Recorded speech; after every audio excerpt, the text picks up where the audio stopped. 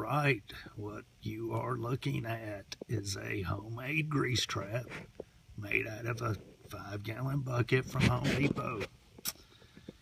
This is a grease trap that you can install for a kitchen sink on a retreat property, a bug out location, your vacation home.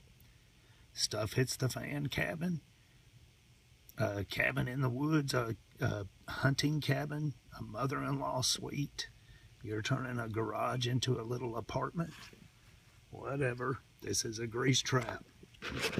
Now, the reason, only reason you would even need this is because you have a gray water, not black water, a gray water system that releases on top of the ground.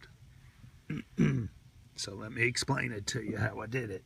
All right, I took a these this is all schedule 42 inch. Every bit of it's two inch. Let me tell you the parts. Of course, that's a pipe. This is a sanitary tee sanitary tee. This is a long sweep 90, a long sweep 90, and another long sweep 90, going the opposite direction or the other direction. Um, this is a two inch hole saw, two inch hole saw. So what I did, let me tell you this real quick. I made a video of me making this and it took, the video was going way too long I didn't have time to explain everything thoroughly because I was trying to rush through it. So I just went on ahead and made it, deleted the video, and I'm making this one. Anyway, so here's what I did. I got my hole saw as close to the top, not all the way, left about a 3 eighths to a half inch from the top and drilled my, uh, drilled my hole for my inlet pipe. Stuff is coming off of the, stuff hits the fan cabin, the retreat cabin and it's coming from the kitchen sink and going in to the grease trap. So I drilled my hole as close as I could to the top. Now that's the inlet. Now here's the exit. Here's the exit. This is where everything exits out. All right, so I dropped my hole saw down, two inch hole saw. I dropped it down about an inch three quarters of an inch to an inch, drop it down and drill you a hole. It's very important that the inlet hole is higher than the outlet hole. Okay, so what I did was I got my sanitary tee. That's what this is. That's what this is right here, sanitary tee. So what I did was I attached me, I got me a two, three inch, it doesn't matter how long it is, piece glued it in there. Then put it in. Let that piece, this stopped here, and then my uh, two inch pipe extended out. This extended out right here. So I was able to put my, glue my 90 uh, long sweep on there and then glue my other one onto that one. you make it short, you make that little pipe short, and it kind of holds it all together. All right, now let me tell you what else I did. I caulked outside. I haven't caulked inside on this one yet. I will, but it's very important that you caulk around that pipe because you don't want water getting out right there.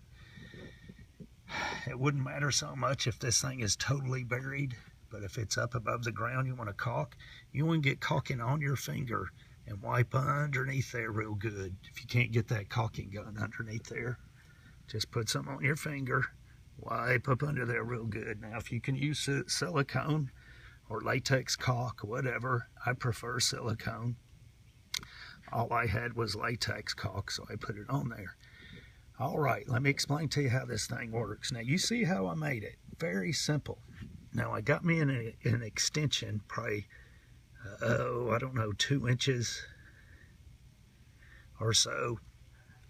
And I extended my sanitary tee. Now look how, look how I got the sanitary tee. Don't, don't do that. Put it like this.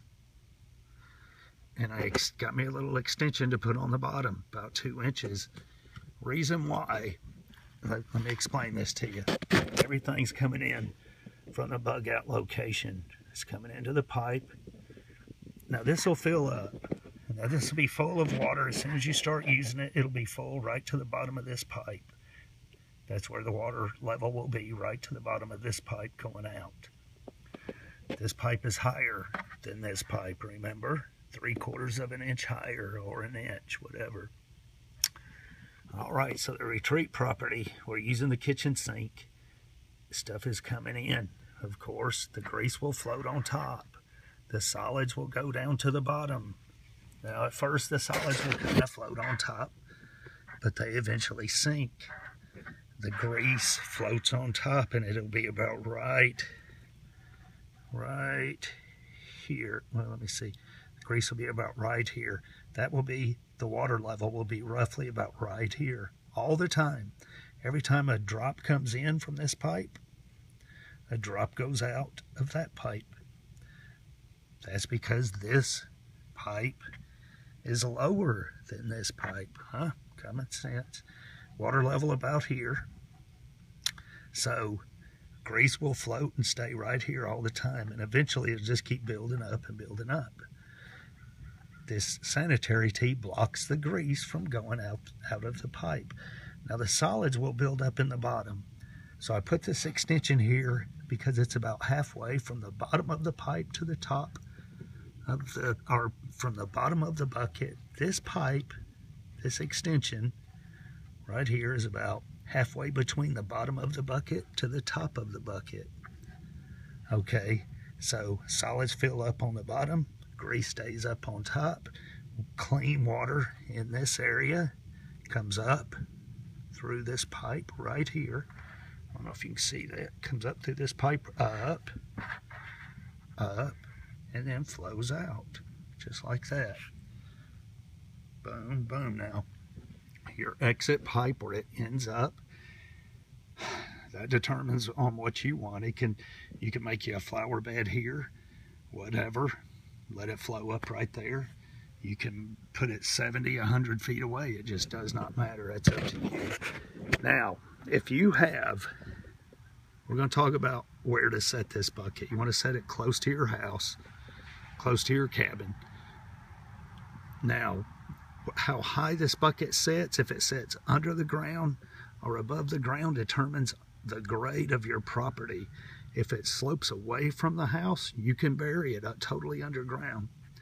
If it does not, then what you need to do is that'll determine if your ground is pretty flat, then raise it up out of the uh, hole a little bit dig you a hole. See how we got it here? Dig you a hole, but raise it up a little bit. That way you have flow from this exit pipe. You have good flow. That means the exit pipe is higher than where the pipe ends up and the water is released. So this has to be higher than the end of your release pipe. It has to be higher than the end of this pipe. That's just common sense. You want it higher, so you want flow. Now, a quarter inch per foot is code, but you're not worried about code if you're installing this. You either don't have a code for it or you're bypassing the code. So it doesn't have to actually be a quarter inch per foot. If you have it 70 foot long, couple of inches, a couple of inches, if this end is a couple inches higher than the actual end of the pipe, then you'll still have decent flow. Anyway, I think I've explained it pretty well. Let's see, let's get, this will be our lid. Now, this lid here, when you put this on, you want to always make sure that this is not touching your lid, that you have a, at least a little bit of space between the two because you want air. You want air to be able to flow. So that'll be it. Now, if you have it above the ground, then what you're going to want to do is plant bushes around it, or you can build you a pressure treated box to stick on it and stick a planter, a, a, a planter on there, whatever. That's up to you. There's a billion different ways to decorate around it or to cover it up. A fake, one of those fake rocks. You can use one of those. Anyway, that's it. Now, once a year, you'll want to uncover it if it's buried or if there's something on top of it, you'll want to take it off, take the lid off, and you will want to uh, scoop it out, get the grease off of the top, scoop out the stuff out of the bottom, or just take a shop vac and suck it all, of course. Grid down situation, you'll have to scoop it out with something. But that's it. This is for a gray water system that flows on top of the of the ground that flows on top of the ground. You don't need this if you have a septic tank system. A, a full-blown septic tank, proper septic tank system, you won't need this. This is for a retreat property, something that you're not going to have a full septic system in. Works good though. Now, you don't want, you don't now, you'll catch all your food particles and all your grease.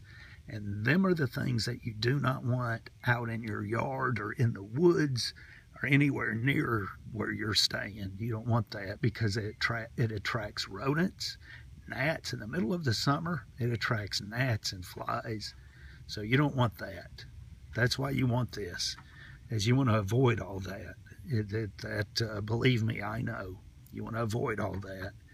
This will clean that water and just let mostly clean water out there that will not attract so many bugs, so many flies and gnats, rodents and possums and raccoons.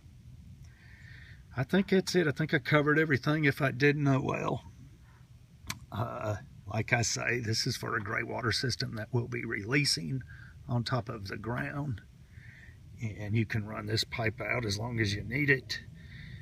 Uh, you'll raise this up according to the slope, the grade of your property. Uh, it's easy to decorate around and cover up. Anyway, hey, I guess we'll see you on the next one. Hey, I will be doing a video of a septic, uh, a septic system for a toilet, toilet only, toilet only septic system made out of 50 gallon drums. The drain fields and the septic tank itself will be made out of 50 gallon drums. I'll be making that video probably within a month and we'll see. Make sure you caulk around this stuff. Put caulking on your finger and wipe up under everything real good. We'll see you on the next one. Grease trap for your retreat, for your retreat property. We'll see you.